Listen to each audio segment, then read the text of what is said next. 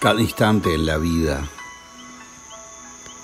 cada momento tiene su maravilloso momento. Algunas personas le tienen miedo cuando, cuando llega la crisis o hay algún problema. Esta noche en el campo me gustó haber filmado eso. El atardecer, pero ya en el final, final.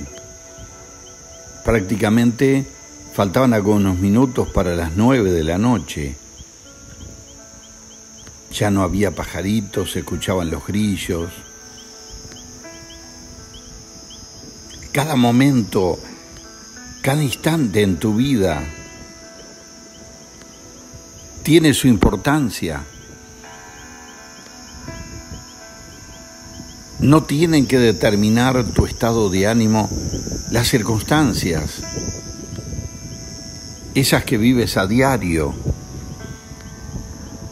Hay personas que viven en una montaña rusa, están contentos cuando le va bien y están tristes cuando algo no funciona como querían.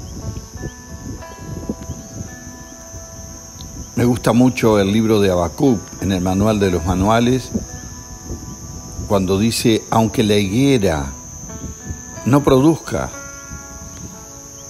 y dice infinidades de cosas, aunque muchas cosas normales no funcionan normalmente, yo me alegraré en Dios. Muchas personas tienen que saber que en los momentos de mayor dificultad también está Dios, está ese Dios que nos ama, ese Dios que nos guía en los momentos difíciles. Hoy miraba todo lo que se veía en la noche. No se escuchaban los cantos de los pájaros ya estarían durmiendo a esa hora. Pero sin embargo, había algo maravilloso, majestuoso en el ambiente. Oro a Dios para que puedas darle gracias por cada momento, por cada circunstancia, por todo lo bueno que te ocurre, pero también por lo malo. Que cuando te das cuenta no era tan malo. Era algo que nos permitió madurar. Era algo que nos permitió tener paciencia. He hablado muchas veces con personas que han estado en momentos muy difíciles en la vida y han sacado lo mejor de sí en ese momento. Yo no sé cuánto de los que escuchan estos videos necesitaban entender esta palabra.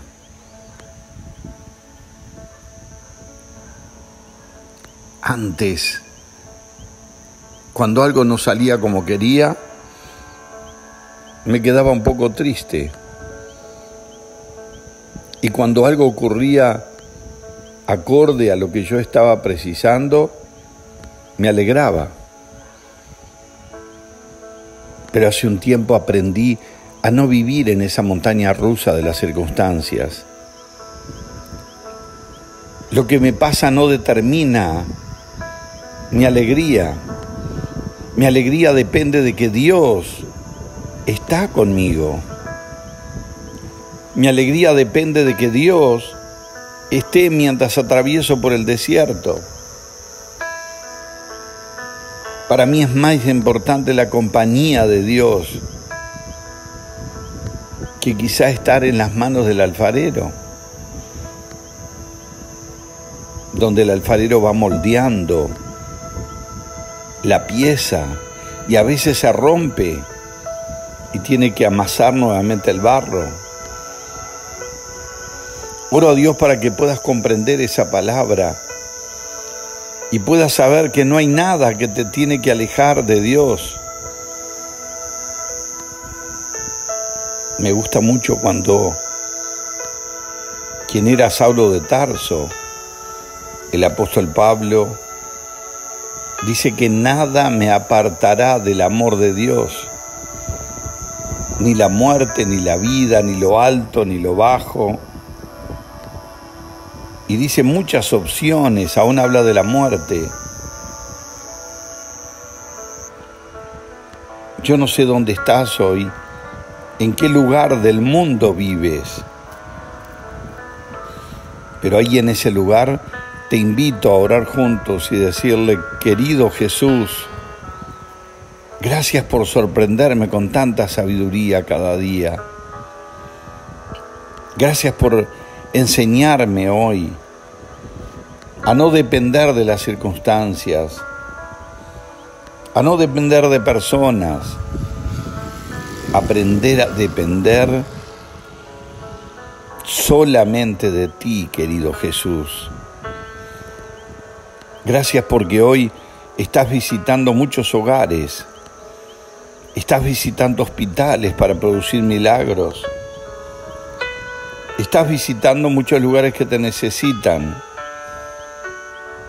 Te recibimos hoy en nuestro corazón y creemos que tomados de tu mano nos internaremos en el mejor tiempo de nuestra vida. Amén. Tantas cosas debemos comprender, tanta sabiduría debe venir a nuestros corazones. Eso sí, cuando descubres y eres libre de las circunstancias, tu vida toma otro rumbo, no tan incierto, sino ahora con la convicción de que Dios jamás te dejará sola o solo. En la crisis aprendemos a confiar en Él con todo nuestro corazón. Amén.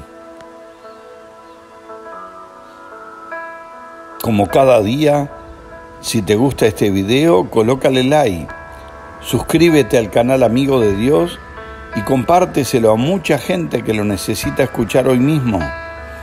Recuerda que cada día seremos más. Amén.